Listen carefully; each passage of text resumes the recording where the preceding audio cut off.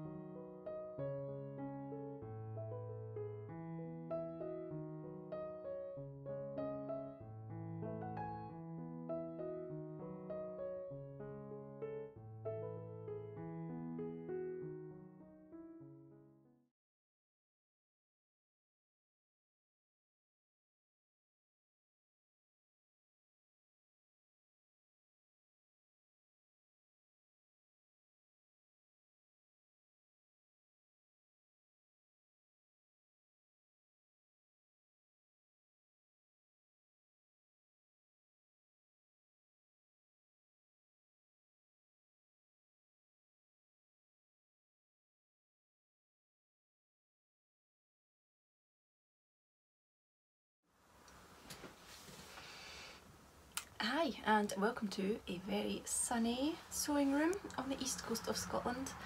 My name's Rachel and I am SewRayMe. You can usually find me hanging about on Instagram where I am I am at SewRayMe and I've also got an Etsy shop which is SewRayMe UK which is all one word um, and welcome to my little vlog where I just chat about what I've been up to um, and there's lots of little bits of video going to be in the video there's video in the video going to be lots of bits of video dotted throughout as well um, of what I've been up to. I don't feel like I've been up to very much lately though, just pottering about the garden and been in the kitchen a bit working on some new sourdough loaves. Had to start my sourdough starter again um, and it's always a bit of a learning curve just sort of trying out you know what works in your own house because no two loaves are ever the same between people because we use different flours our environment in our home is different so it's it's been fun and um, you just have to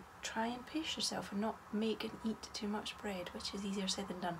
I've got another loaf in the fridge at the moment which is going to get baked this evening and I'm really excited about this one because I tweaked my recipe a little bit. Um, it was always really wet and kind of just flopped out of the basket when I tipped it out so this time I added a lot less water so I'm really hoping that I get a better result this time. Um, but it's all quite a lengthy process and a lot of waiting to see how it does turn out. Um, so let's begin with what I want to chat to you about today.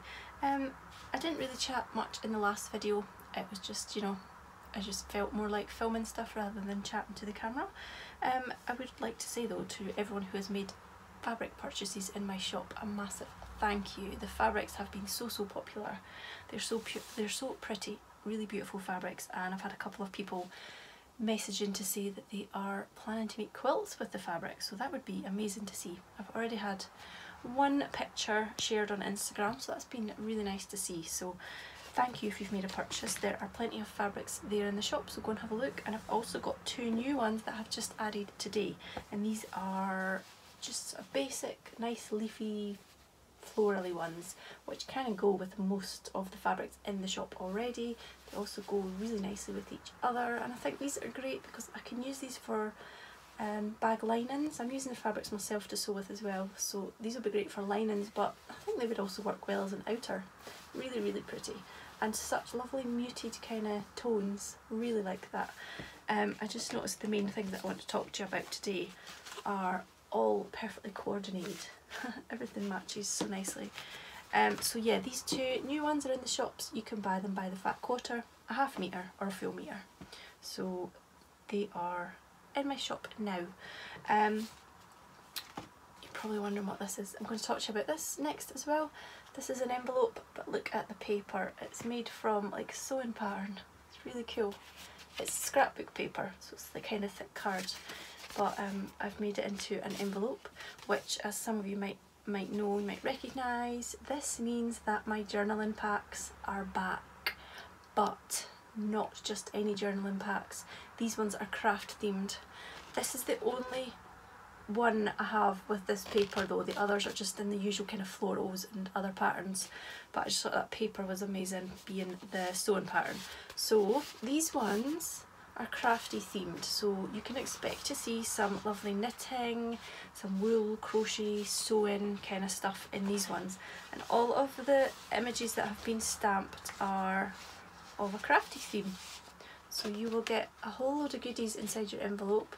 I made the envelopes, I hand make all these big envelopes.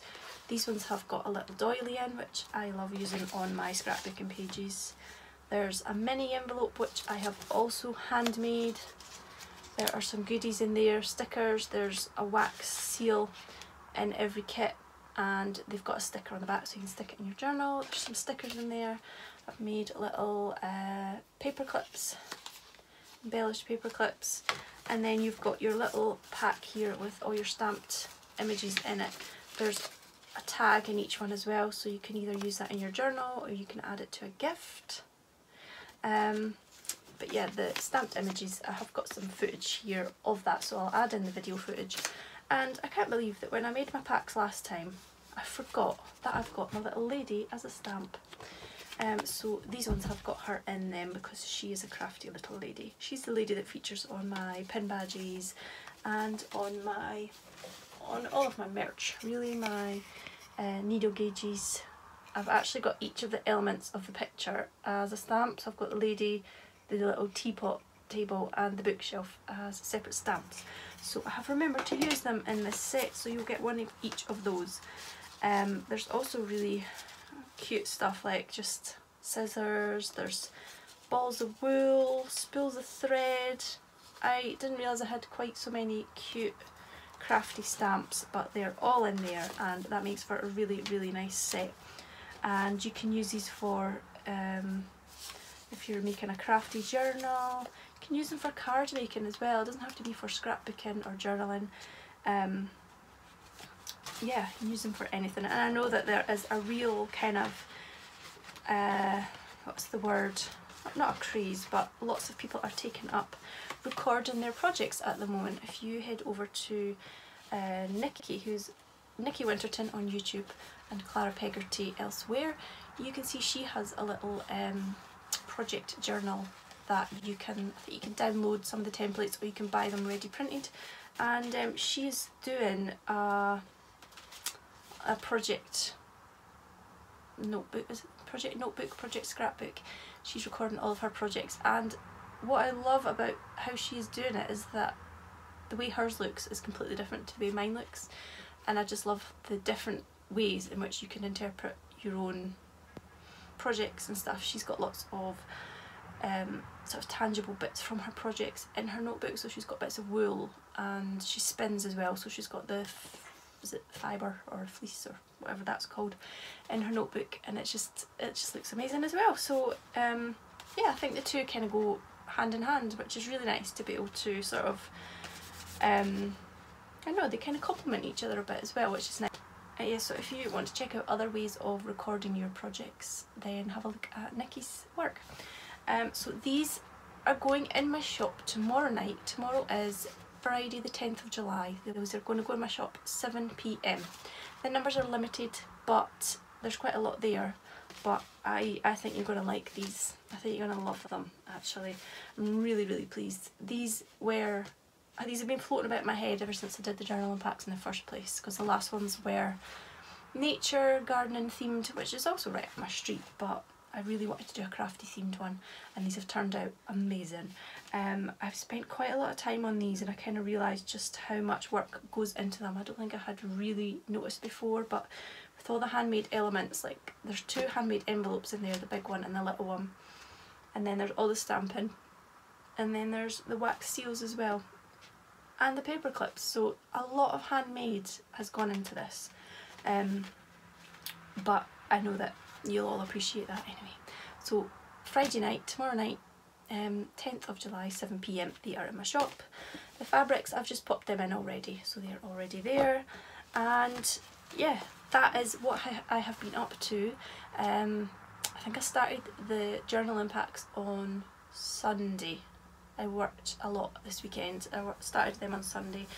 Um, we are now on our school holidays here as well, so um, yeah, still trying to work and fit in life and family and all that kind of thing but I feel like we've had a lot of practice lately with having lockdown anyway so it doesn't feel too different.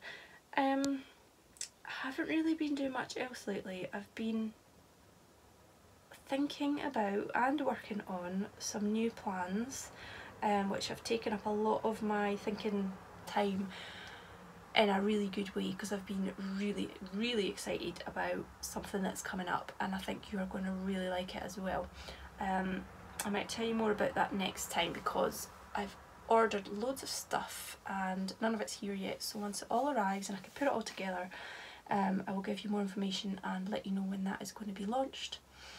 Um, but that has taken up so much brain space um, to the point where it has actually been keeping me awake at night but in a good way because I've been so excited about it. Um, but that's meant I've been so tired, I haven't really done any other crafting. I've got my scrappy socks still on the go in my little basket here. I don't think I've worked on these, well I've probably done more since I showed you last but I haven't worked on them in a good few days anyway so they have heels again this is the Godey heel that I've been using lately um, I got this from the Soul Sister Socks pattern but Jules has now released another pattern which is her Sweet Vanilla Toe Up sock so it's just a plain sock which is a really good recipe I like that word a recipe for a sock so um, yeah, got the heels done. When I'm doing heels on two at a time, I often get asked how you do that. So I just do the first one for, you know, you go forward and back, forward and back. Uh, these are, I think they're short row heels, short rows or something. So you, you work on the first one, leave your second one out the way for a bit, finish your first one and then you move on to the second one and do the whole heel all in one go on one sock. And it's really, it is easy, it's really easy. Um, the only thing I've had trouble with with two at a time socks was casting on cuff down. I had to do them separately. Yeah, I started them off separately on separate needles and got them into the round and then I put them both on one needle. But that's the only thing that two at the time socks has given me any bother with. So yeah, loving the colours. They've got the same colours in them, just in a different order. And I think I've got two more colours each left I've not planned it very well because I've got the same colour left. I've got the purple left for both socks but I've also got the yellow and orange which are a bit similar. I should have planned that.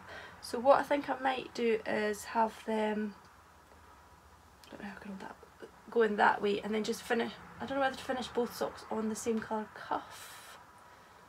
Oh I don't know. The problem with random is it's never actually random, is it? It requires an awful lot of thought. But anyway, I absolutely love these so much. And I love the colours and I love the tones of the colours. Oh, love them. I have already been thinking ahead to more scrappy socks and just different colourways and stuff. And I looked out of my kitchen window the other night and all I could see was like flowers in the garden and they were like pink, purple, white I thought mm, there's a bit of um, colour inspiration right there. So what did I do? I came straight upstairs on my way to bed of course um, and just pulled out some colours that fitted in with like pinks and purples and all that kind of lovely, those lovely shades. So I'm just going to stick these all together and show you what I've got here. Oh, there's dropped one on the floor But anyway, here you go. How yummy is that? And then I thought, do you know what? They're all the same colours I would normally use anyway. They don't look any different to what I've normally pick, but it just shows I love them. So I might make some more scrappy socks using bits and pieces from here. Um, they are actually very similar looking to Advent socks that I made a couple of years ago actually. They're all pinks and purples as well. And then um, I was watching Jules's vlog, So Sweet Violet, and she has made a snuggle down cowl, which is her pattern as well, in some lovely blues and greens. I'm just trying to pick up this ball that will have dropped. Lovely white one with pinky flecks on it that fell out the basket. Um, so yeah, Jules was making a lovely sort of, just reminding me of the sea, like sea foam, sea green and blue colours, which were beautiful. And I love greens. And then I thought, I need some bluey green socks as well. Um, I haven't really had a chance to look through yarns for that for those yet, but I don't I don't think I've got many in those kind of colours. I've got my big jar, which is actually now left with quite. I've got loads of greens in there, but they're very bright, so they might not be quite right. But I also did a little swap with Nicola, who is Bumble Stitches. Um, you can find her on YouTube and on Instagram, and she sent me some beautiful yarns. I think I've taken some out of here to put in here but I can see there are some nice bluey greens in there. There's one, there's one. I love this one as well. It's kind of got all different colours in. I know I should really show you them out of the bag, but they are really, really lovely. I really like ones like this that are kind of white, but they've got a bit of everything in them. Love that. I especially love that as well. I know the light's not the best for showing you. And I love this as well. I think this is my favourite. I don't know why. It's just got everything in there. Really like it. So anyway, I've got plenty of yarns to play with. There's another bluey greeny one. So I might actually manage to make some bluey green socks as well. That would be nice. Those colours are so calming and relaxing. That's really looking quite bright in the picture there. So yeah, I've got lots to play with. I sent Nicola some fabric scraps and she sent me some yarny scraps. Um, so that was exciting. It's always nice to get someone else's odds and ends, isn't it? Um, so that's what I've been up to lately. Today is Thursday and I really need to make myself a face mask because as of tomorrow they're going to be mandatory in shops in Scotland. Um, I've got a pattern here that Gaina from Tales from Cuckoo Land has recommended. Um, is that the right way up? Yeah, it's the right way up, but the mask itself, I think, the mask is at the top of the mask? I'm a bit confused with that. I'm not sure whether to make this kind of style or the ones that are just more of a rectangle and then gathered at the sides. That's what I was thinking I was going to do because they look really simple. Um, but actually I've read the instructions for this type and it's really simple as well. Um, the website for this one is called wholefully.com if you want to look at it. Um, so yeah, that's kind of what I'm going to have to do this afternoon. I did say I was going to try and do it last weekend, but such a boring job, and it's like I don't want to make face masks, but I have to. Nothing worse than doing your hobby because you have to rather than because you want to. I don't want to, but I have to. Um, I'm thinking of just finding some fairly plain fabrics. I don't want anything too bright and fancy because I think I feel I think the thing with the face masks is that I feel a bit self-conscious. I know I'm going to feel self-conscious wearing one, even though I would say I've seen about 40-50% of people wearing them. And it's probably going to, it'll really increase as of tomorrow because it's going to be mandatory. Um, so maybe I won't feel quite so self-conscious, but I don't really want anything too bright that's going to draw more attention to it. Um, I'm a bit worried about how it's going to go tomorrow because I think a lot of people um, they've already said that shop to shopkeepers and shop workers that they don't have to police it because they can't. I think we're going to get an awful lot of members of the public just refusing to wear them, which is going to annoy me so much.